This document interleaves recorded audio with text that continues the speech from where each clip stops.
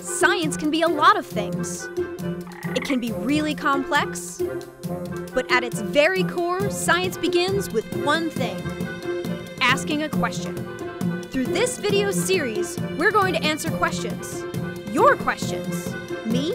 Yes, you. So come with us behind the scenes where we'll be up close and personal with some amazing animals and the scientists working to save them at Smithsonian's National Zoo and Conservation Biology Institute. So get ready to dive into another episode of Other Duties as Assigned The Secret World of Zoo Jobs. What's one piece of advice you would give to someone looking to work in your field? I would say don't wear lip gloss or chew gum. You'll regret it. Hi, my name is Sarah Putman and I'm an endocrine research scientist and the resident poop sleuth here at the Smithsonian Conservation Biology Institute. So what exactly does it mean to be a poop sleuth? My job is to investigate excrement. Think of me as a private investigator of poop, getting to the bottom of, well, what comes out of animal bottoms. I work in the endocrine lab, where we research the hormones of a variety of endangered species to find out things like if an animal is pregnant or how certain hormones change when an animal reaches puberty. And where can we find all of this wonderfully important information? You guessed it, poop. So how does poking around with poop translate into important information for the people who work with animals? Come with me and I'll show you how it's done. The poop arrives frozen, each sample in its own individual bag and they're labeled with important information such as the animal's name, where it came from, and the date of the sample. We take all of those samples and we freeze dry them. Think of it like we're making beef jerky. We're pulling all of the water out of each of those samples.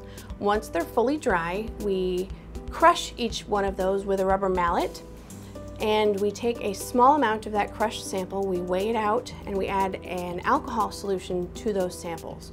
We then mix the samples using a vortexer. Think of it kind of like a small poop tornado where all of the fecal sample is moving around in the alcohol solution and that mixing action causes the hormones that we want to go from the poop into the alcohol solution. Once we finish with that process, we centrifuge each of those samples to pull the fecal sample down to the bottom of the tube, and then we pour off the alcohol solution, which is where the hormones are, and then from there we can start our analysis of the hormones.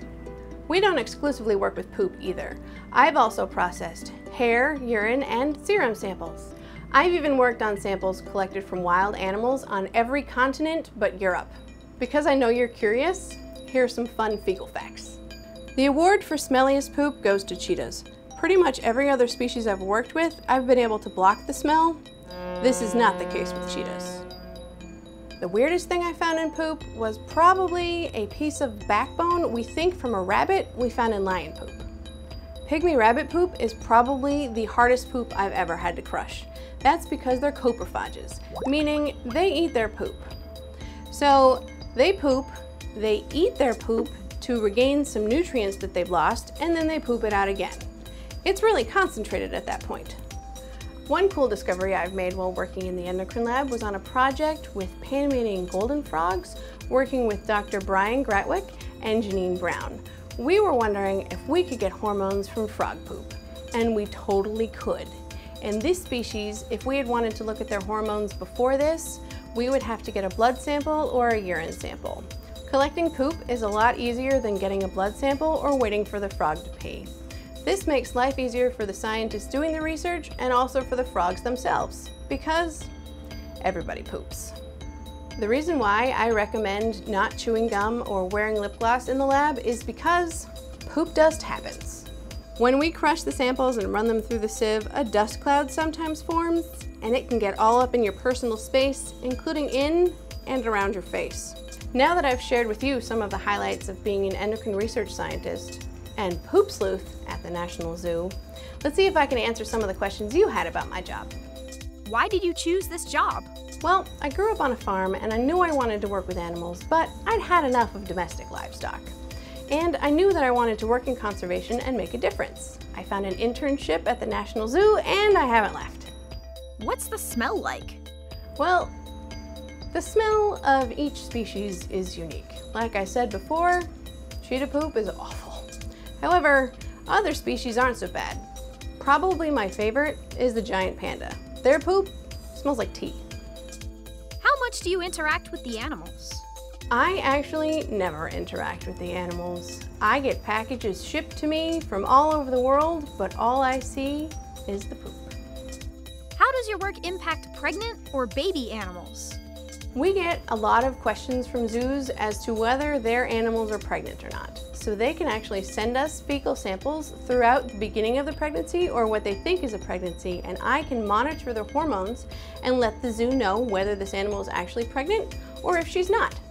Thanks guys for spending a few minutes with me in the world of a poop sleuth.